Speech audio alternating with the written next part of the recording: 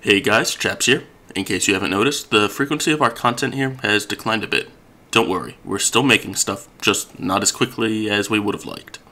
In today's video, we're going to be talking about stats, more specifically, drop rates and gear packs. A few months ago, I joined up with a couple forum members and we developed a pretty cool tool. The tool is focused around getting the stats of gear packs and getting that data to the fans in a neat, organized way. Broadband did most of the initial database work, and TensorFlow did a majority of the input scripting that I'll describe in a bit. Alright, hold up a minute. I just want to let you guys know I recorded this back in early May, so it's been a while. The page has received a few updates since then, and the June update brought along some modified RNG stats. The sheet is still working, but just be aware that the exact stats shown in this video may be a bit dated. Okay, now back to your regularly scheduled programming.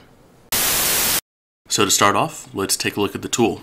I know most of you are only interested in the results, but here's a brief rundown of how things work. We set up a database of all possible cards and various stats about these cards. This page is crazy, and I would never expect anyone, other than those of us who are editing the tool, to access this page. Next, we have a tab for each type of gear pack. This started out as a manual process, but thanks to TensorFlow's awesome script, it's now all automated, by downloading the script that's linked below, you can install the Chrome plugin that will allow you to help contribute. The more people that we have using this app, the more accurate our results are going to be. As a quick disclaimer, this app requires you to be logged into the forums in order to buy packs, and because of this, TC can't officially endorse the script, but it's a pretty short script and it's open source, so you can easily see that it's clean. So if you install the script and you go to the Gears of War webpage on Chrome, and you start getting packs. You can use real money or credits, it doesn't really matter. This tool is automatically going to take the cards that you get out of those packs and transfer them over to the Google Sheet for us. So this is great, but what does this get us? Well, let's start off with the dashboard as we call it. Here, for each pack, you'll see a breakdown of the rarities, card types, scrap, and much more. As you can see, we've got some excellent visuals to help you understand the results. While this page is awesome, let's take a look at the sheet that I personally find to be the most helpful. So here we go, the Overview tab. Let's start with the top. As you can see, we show how many of each pack was opened, the cost, the average scrap per pack, and the average scrap per credit spent. This last one's important, as it tells you which packs give the best bang for your buck when it comes down to scrap and credits. Now let's skip over this next section here and look down here. Here we have the number collected, this categorizes every card type and shows how many have been obtained in the various types of packs. Moving down further, we can figure out the likelihood of getting any of these types of cards in a pack. So this can be pretty useful if you're trying to get a certain type of card. But let's go back up to the top section that we skipped. Here is where the really important stuff is. This tells you which pack is going to be most efficient to get you a certain item. For each type, you can see that the highest chance per pack is highlighted in green. Let's take the Sentry Capacity Horde skill for example. This is a rare Horde skill. As clearly shown by this chart, the Operations pack will be the most efficient way to get this card. Here's another way of looking at this. Let's look at the example of rare weapons. Down here, you can clearly see that the Elite pack gives the best chance at a rare weapon. This is followed by Operations pack, then the Versus pack, and lastly by the Horde pack.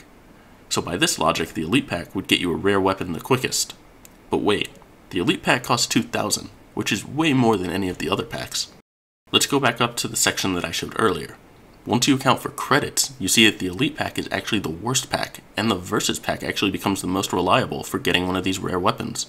It's not just about which pack will get you the thing in the fewest number of packs, it's also about the number of credits that you spend on these packs. Another thing to note though is let's use the Rare Horde skill for example again. While we show that the Operations pack will be the most efficient way to get that in terms of credits, note that you will be getting a bunch of other cards if you just keep buying Horde packs. So while the Operations pack will be the most efficient way to get that one card you're looking for, you're going to stockpile a lot more cards if you start using the Horde ones. So it's really down to what you're trying to do. Are you trying to find that one specific card, or are you just hoping to get that one specific card, but you'd like to stockpile a bunch of other ones in the process? Alright, so let's take one last jump back over to the dashboard. As many of you may recall, in a bunch of my recent posts and videos, I talked about the drop rates as seen in the packs. This page has been the source of a majority of my arguments. It's tools like this that allow us to accurately track stats and allow anyone interested, like myself, to dig through and look for trends. I'm really glad that we did this as it really does help shed some light on some pretty hot topics. As you can see, this spreadsheet has a ton of great results for people to check out.